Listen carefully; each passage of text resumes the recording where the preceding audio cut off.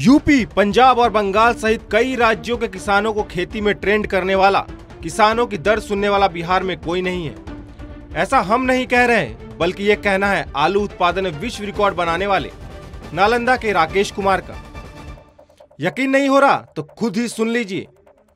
क्या दिक्कत हो रही है आप लोगों को? हम लोगों को किसानों को यहाँ के यहाँ के जितने भी किसान हैं आलू उत्पादक किसान सारे को प्रॉब्लम ये हो रहा है कि आलू उपजा लिए हैं और आलू को रखने के लिए कोल्ड स्टोरेज में जगह ही नहीं दे रहा है। यहाँ पे एक दो कोल्ड स्टोरेज छोड़ करके सारे स्टोरेज वाला बोलता है कि सब स्टोरेज फुल हो गया है जबकि उन लोग सारा व्यापारी का आलू रात में लेता है। जो हम लोग यहाँ का जिला प्रशासन से डिमांड करते हैं कि हम लोगों को आलू बीज के लिए भी कम से कम रखा जाए ताकि अगला साल जो है हम लोग आलू को रोप सकें। जो कि आलू उत्पादन करने में हमने यहाँ नहीं बल्कि विश्व में नंबर वन आलू उपजाए हैं। जो कि आप लोग ने आ, आप देखे होंगे कि हमारा जो है, ये राष्ट्रपति अवार्ड भी मिला है और हम लोगों को महिंद्रा कृषि अवार्ड भी इस पर मिला है, जो कि आलू उत्पादन हमारे देखा देखी यहाँ नहीं यूपी का किसान भी यहाँ आकर के हम लोग से सीख के गया है। पंजाब का भी किसान आया था, झारखंड का भी आया था, बंगाल का भी आया था, जो कि हम लोग अच्छे ढंग से आलू उत्पादन करते हैं और अच्छा उत्पादन करते हैं। और देखिए हमारा आलू जो है अभी कोल्ड स्टोरेज में नहीं रख रहा। है इसका कारण क्या है? कोल्ड स्टोर मालिक को अपना मतलब उच्च मुनाफा कमाने के लिए ऐसा लोग कर रहे हैं। देखिए कोल्ड स्टोरेज वाला सीधे बिचौलिया के जो है क्या करता है कि उन लोग को आलू रखता है। जैसे आज से चार दिन पहले आलू का रेट जब आलू स्टोरेज पे जा रहा था छह सौ रुपये पैकेट था और पचास किलो का। आवाज़ जो है मतलब इन लोगों को जब बंद कर दिया तो चार सौ रुपये पैकेट कर दिया। दो सौ रुपये पैकेट इन लोग अपना जो है घपला घपलाबाजी कर रहा है इन लोग। नालंदा में एक दो नहीं बल्कि कई किसानों की यह शिकायत है।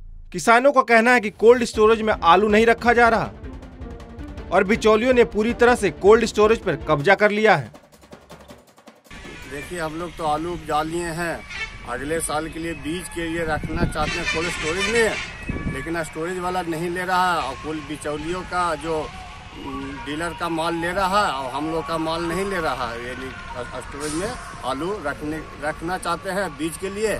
आलू उपजा ले लेने अथी स्टोर में ले ही न रखे तो क्या करेंगे? वो जाके अथी अब बिगेंगे रखेंगे। कौची कहता है?